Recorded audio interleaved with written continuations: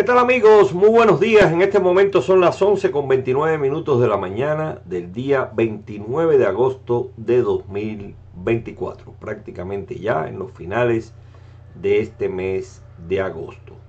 Como les comenté antier, porque ayer no tuvimos transmisión, recuerden que les decía que estaba en la tercera convención de protección civil que por cierto Protección Civil subió mi conferencia íntegra totalmente, es muy larga, es de casi hora y media, la subió a las redes sociales, por si algunos se interesa en verla, tiene tiempo, está en Facebook la conferencia que dimos ayer sobre ciclones tropicales, formación, evolución y pronóstico. O sea, una conferencia que a algunos les puede interesar y ahí la pueden ver en las redes sociales, sobre todo en Facebook, que es donde Protección Civil la subió.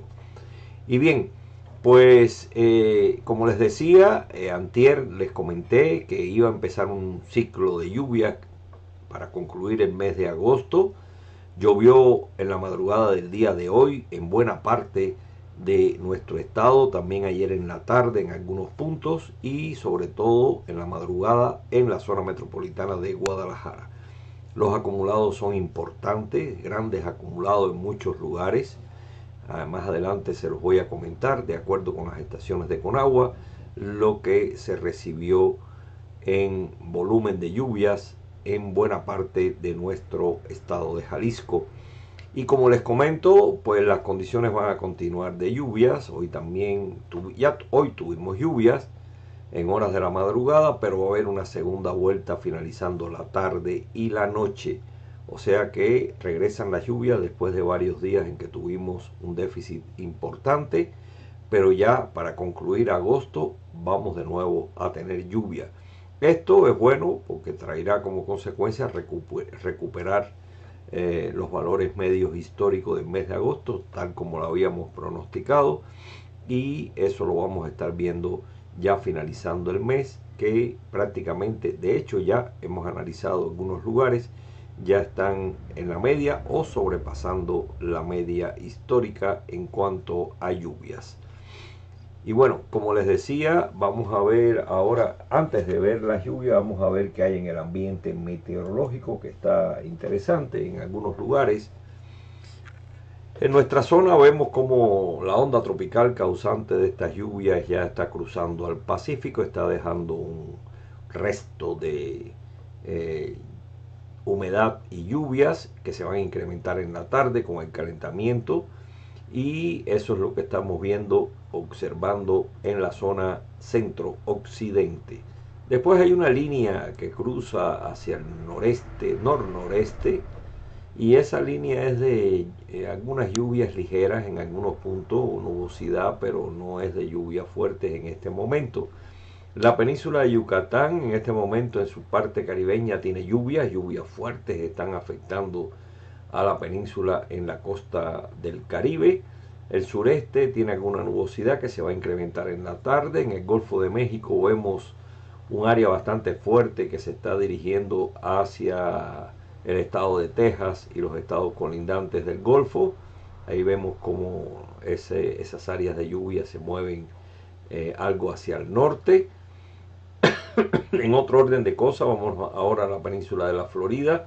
Me reporta mi amigo, mi amigo Tony, allá en la península de la Florida, que hay aviso de inundación en todo lo que es la parte de la península en la zona sur y más bien en Miami está siendo afectado en este momento por esas áreas que ustedes ven en rojo que afectan la parte sur de la península y que eso ha traído como consecuencia una alerta de inundaciones en algunos puntos.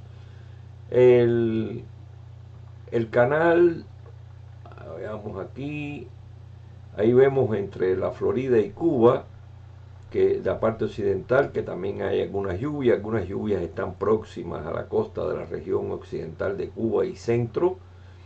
Eh, la isla de la Española, eh, lo que es Haití, Santo Domingo, Haití está despejada, pero República Dominicana tiene algunas lluvias en su costa norte. Puerto Rico, después de algunas lluvias que tuvieron importantes, ya ahora disminuyen y prácticamente está despejado. También el arco de las Antillas Menores con poca lluvia en este momento. Eh, California, como ustedes ven, está bastante despejada, no hay lluvias por el momento. Y el noroeste de nuestro país, península de California, Sonora, gran parte de Chihuahua, bastante despejado, también el noreste. Ese es el panorama, no hay ciclones tropicales en este momento en formación en las cuencas del Pacífico y, del Atlántico. O sea, el Atlántico tranquilo, el Caribe, el Golfo de México con esas áreas de lluvias que se mueven hacia el norte, afectando la costa sur de Estados Unidos, el Atlántico también bastante tranquilo. En general, eso es lo que tenemos en el ambiente meteorológico. Ahora le voy a decir los acumulados de Conagua, de las estaciones de Conagua, están interesantes. Hay grandes acumulados en algunos puntos. Vamos a ver qué tenemos por acá. En cuanto a Conagua, a ver qué nos informa de ayer, vamos a ir al día de hoy. El boletín de hoy. Hoy, de 8 de la noche, de la mañana, perdón, de ayer a 8 de la mañana de hoy. Estas lluvias en su mayoría fueron una buena parte en la madrugada, algunas en la tarde en algunos puntos del interior del estado. El cual allá en Puerto Vallarta, 94.3, un acumulado enorme, eh, volumen enorme de lluvias reportadas. San Gregorio, en Gómez Farías, 82, volumen importante. Santa Rosa en Amatitán, 41.5. La Hierbabuena en Tototlán, 40 milímetros. La presa La Red esto es en Tepatitlán de Morelos, 39.8. Piedra Barrenada, en Joco, Jocotepec, 35.4. La desembocada en Puerto Vallarta, 35 milímetros. La red, 32.2 milímetros en Acatic.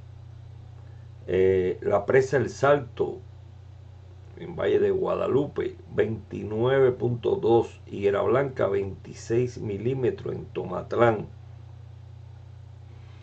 Eh, aquí en la zona metropolitana tengo algunos acumulados, 20 milímetros hacia la zona de, les digo, les digo al momento que esto cayó.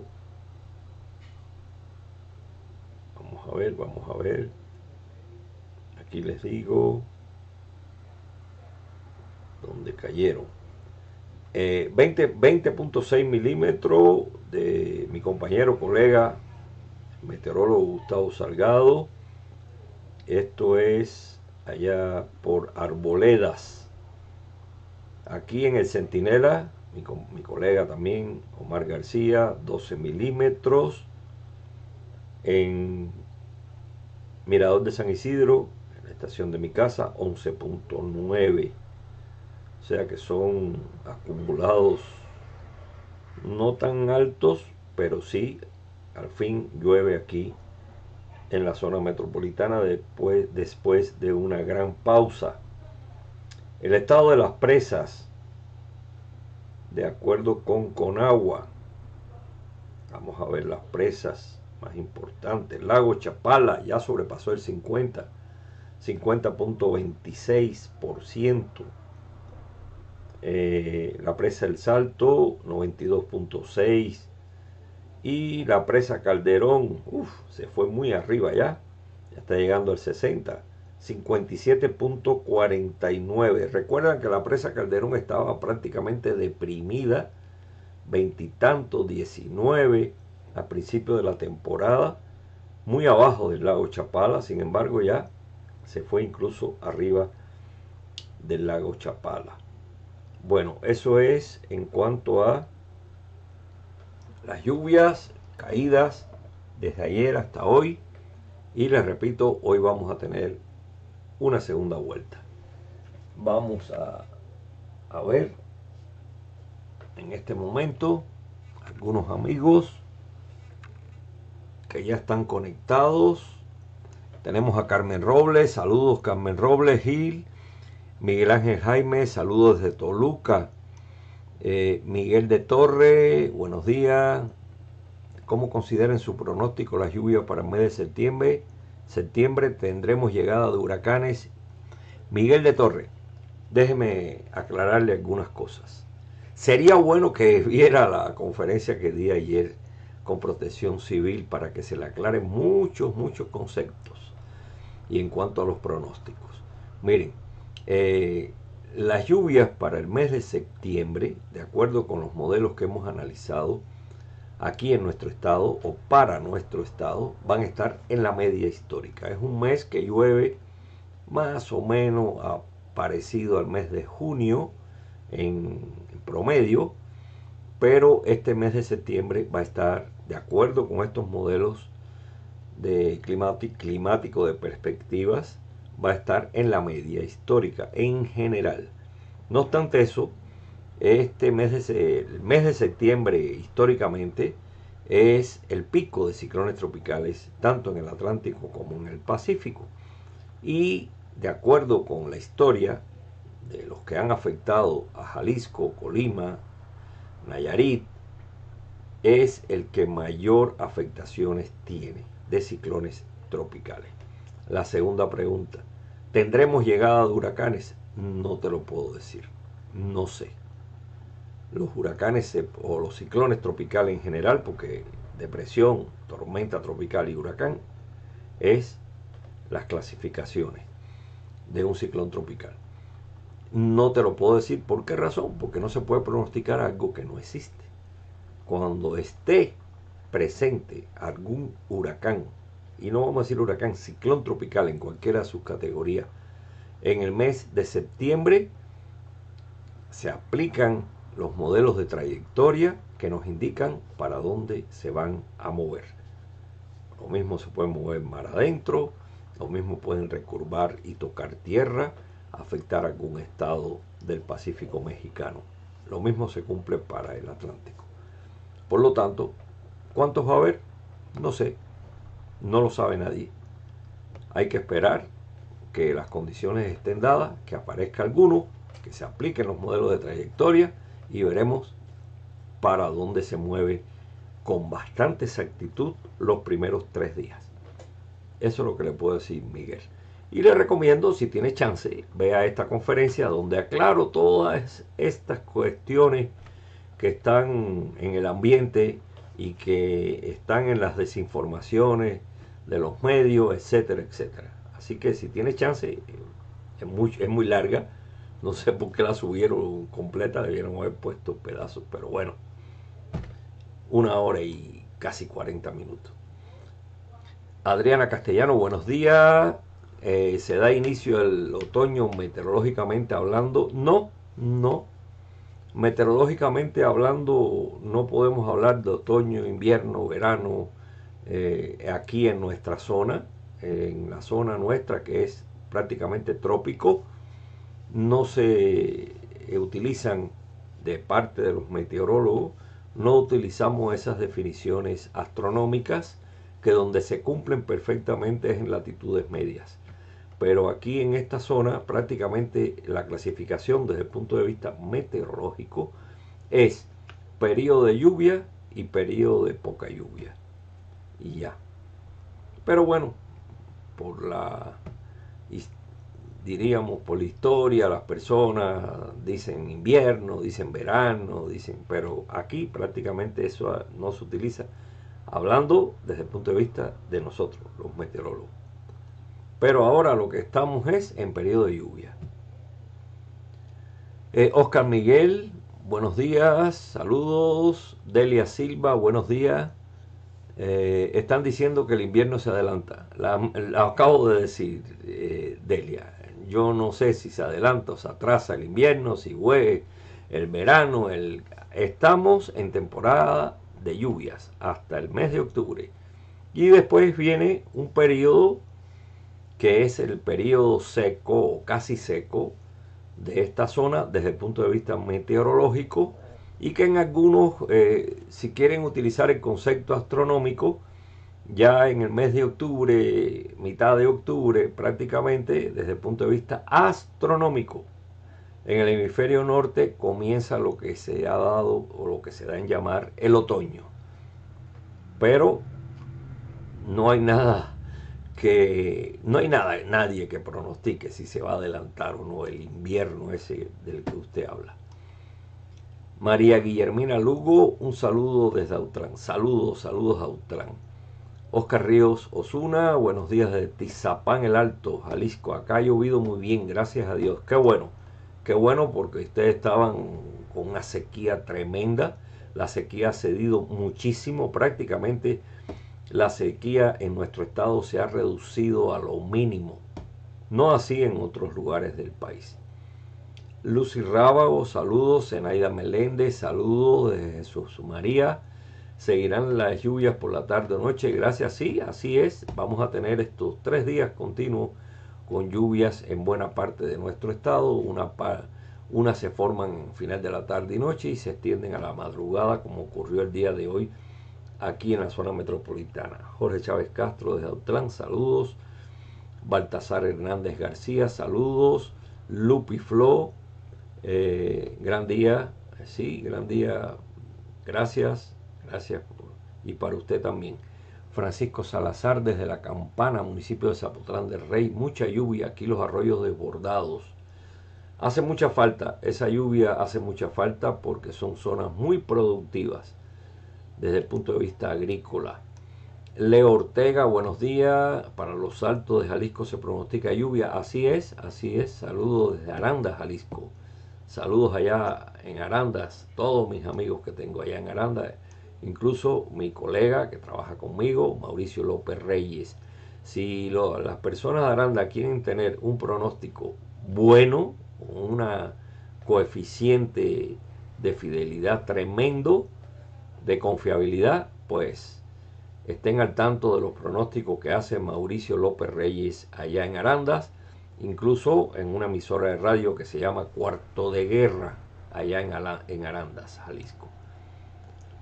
Jorge Cuevas, saludos. Eh, todavía nos queda algo del temporal de lluvia. Claro que sí, nos queda todo septiembre y por lo menos la mitad de octubre.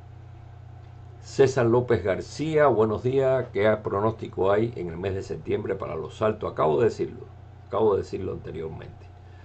José Guadalupe Bernal, que sigan la lluvia por lo menos dos meses. Bueno, lo que queda es alrededor de un mes y medio. Malusi, gracias, gracias, saludos. Héctor Antonio Ornelas, eh, saludos desde Agualulco de Mercado, saludos allá por Agualulco y usted.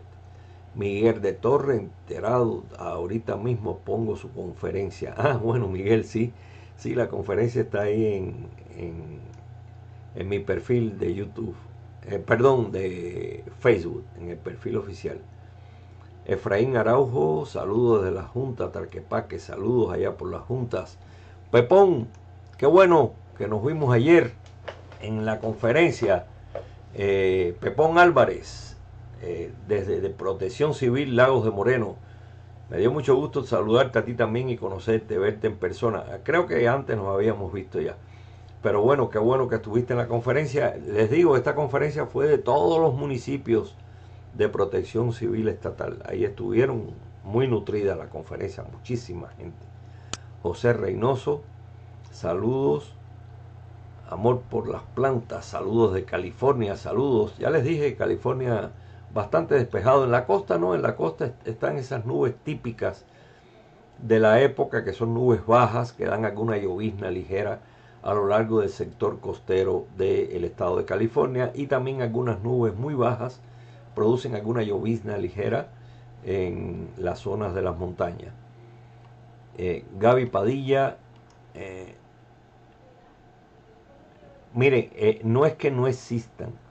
Las estaciones del año se clasifican atendiendo a la posición del Sol con respecto a la Tierra. No es que no existan. Esa es una definición astronómica. Y la meteorología y la astronomía son dos cosas muy diferentes. La meteorología se dedica a los fenómenos que están dentro de la atmósfera de la atmósfera del planeta frente a frío, ciclones, eh, bajas presiones, altas presiones, etcétera, etcétera, etcétera. Todo lo que nos afecta en la superficie de la Tierra. Y la astronomía se dedica a las condiciones planetarias. Ellos clasifican cuatro estaciones del año respecto a cómo está la Tierra y su inclinación con respecto al Sol. Por lo tanto, estas dos cosas no tienen una que ver con la otra. La astronomía, eh, cuando define, por ejemplo, el, invierno, eh, donde se ven esos cambios de estaciones, por ejemplo, la primavera tiene un cambio después del invierno, después viene el verano, después viene el otoño, eso eh, donde se ve, se observa bien definido es en las latitudes medias, no es en las latitudes tropicales. Aquí no se observan esos cambios tan precisos cuando la Tierra tiene determinada inclinación con respecto al Sol, no se observan esos cambios tan precisos como es en las latitudes medias. Aquí nosotros prácticamente tenemos un eterno, podemos decir así coloquialmente, un eterno verano interrumpido en algunas ocasiones por llegadas de masas frías que hacen que se sienta frío, dos, tres, cuatro días, después vienen dos, tres, cuatro días cálidos, eso es lo que observamos aquí, los, los, que vivimos en esta eh, zona tropical.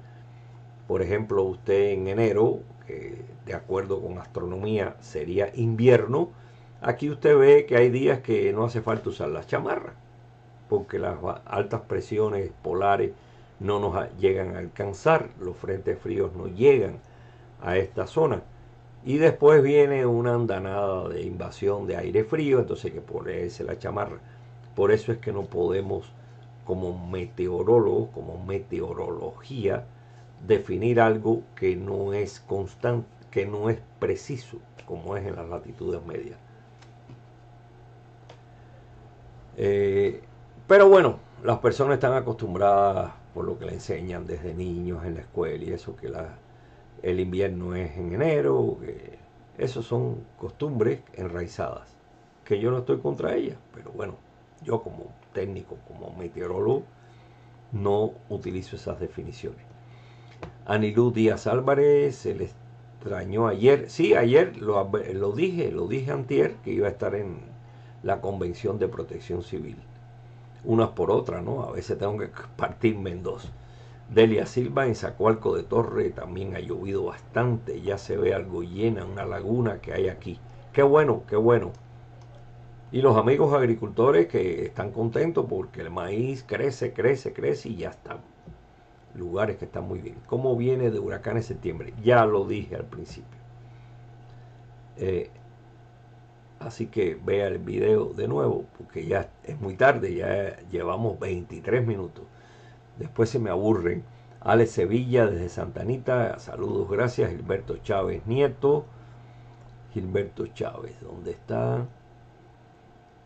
Eh, ¿Cuál es el pronóstico para esta temporada invernal? Todavía no hay precisión en eso. Vamos a estar bajo los efectos de la niña, es lo más probable y por lo tanto va a ser un invierno muy seco, un periodo invernal, como ustedes le dicen invierno, eh, un periodo seco, más seco de lo normal. Eh, Francisco Salazar me dice algo de la zona, eh, la zona muy maicera, solo que hubo desastres por el viento y granizo. Sí, eso sucede siempre, eso no es posible evitarlo. Gaby Padilla, saludos. Víctor Cabrera desde Villa Corona, saludos. Y Fátima Reyesa, buenos días, saludos para usted también. Bueno, eso es todo. Ya nos vamos porque son 25 minutos casi de plática. Bueno, eso es lo que tenemos por el momento. Que tengan un excelente día.